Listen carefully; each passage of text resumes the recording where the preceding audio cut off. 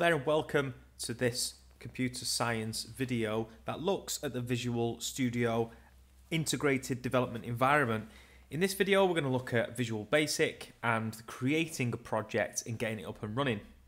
So the first thing you need to have installed is Visual Studio 2019 or another version of Visual Studio. This is our integrated development environment that allows us to add code and create our projects. So in this window, I've got all of my previous projects on the left hand side there, all the most recent projects. I can open up a project or a solution, or I can open a local folder that contains my project, um, or I can even create a new project. So what I'm going to do is I'm going to create a new project today, and I'm going to allow all of my languages to load. So make sure that you use this drop down box in order to allow you to select the Visual Basic programming language. From here, we're going to create a Windows form application in the .NET framework. And that's a project for creating an application with a Windows form user interface. We click on it and then we just click next. Now this part is very important.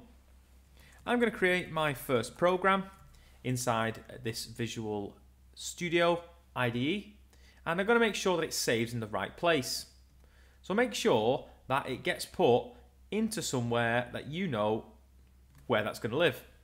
Hopefully that makes sense. So I'm just going to store this on my desktop for now, but I would probably create a folder that's called programming, whether you're an AS or A2 computer science student, for example, you create the folder for that and store them all in the same place and that just helps for housekeeping so you don't lose it. My solution name and project name are the same and don't worry about the framework, we can always change that later on, but it's set correctly by default. In the bottom right corner, we click create. And what you'll see is when it all loads, you'll see the form appear. And then we're going to talk about the integrated development environment user interface. And there it is. So the Visual Studio interface has been used for many, many years and it's been adapted throughout the years, but it is fairly straightforward.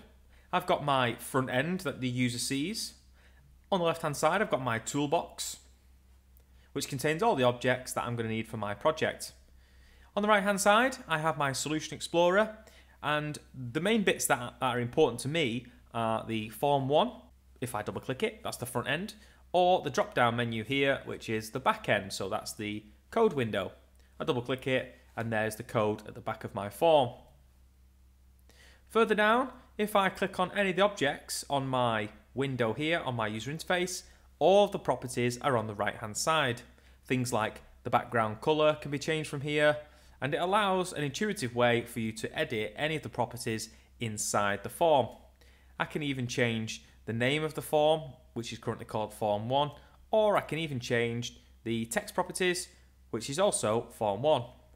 So if I change this and I type in my first program, you'll, you'll notice that on the form itself, form 1 changes to my first program. And if I was to start my program, you would see that when it appears, it doesn't actually do an awful lot and it's not very impressive.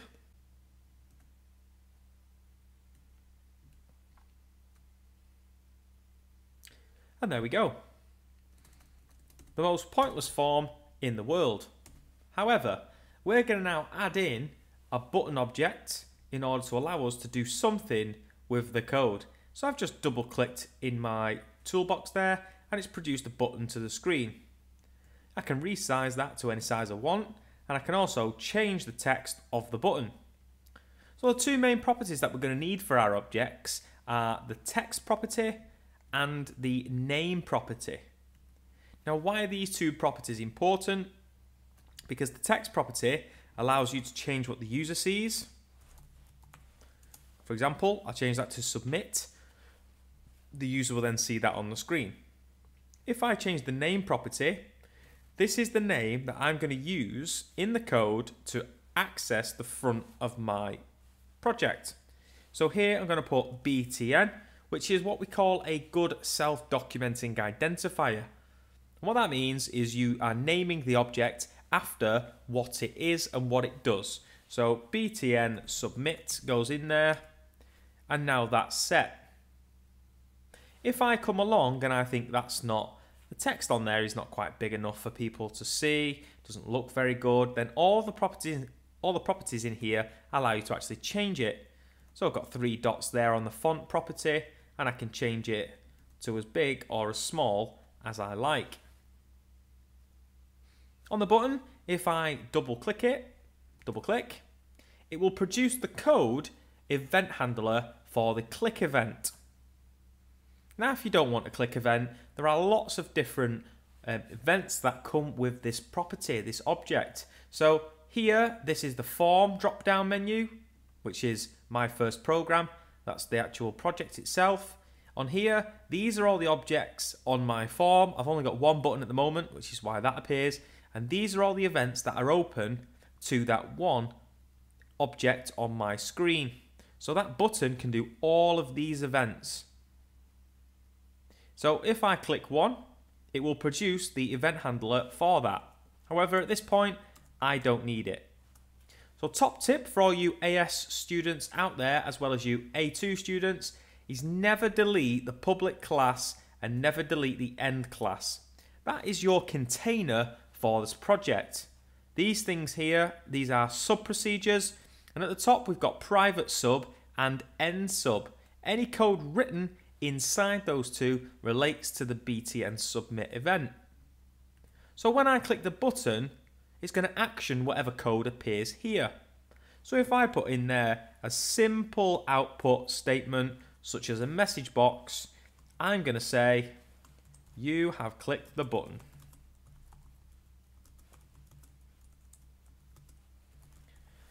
And there we are. So that means when I click the button, it should action the code here, which means I'm going to output a message box.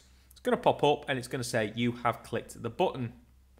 Now when I go and run this, all I'll do is I'll bring it on the screen and I click the submit button.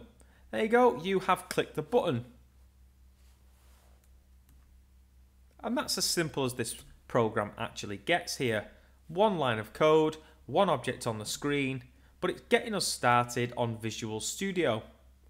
And if, for whatever reason, you think, oh, I can't access my toolbox anymore, that's because you're in the programming window.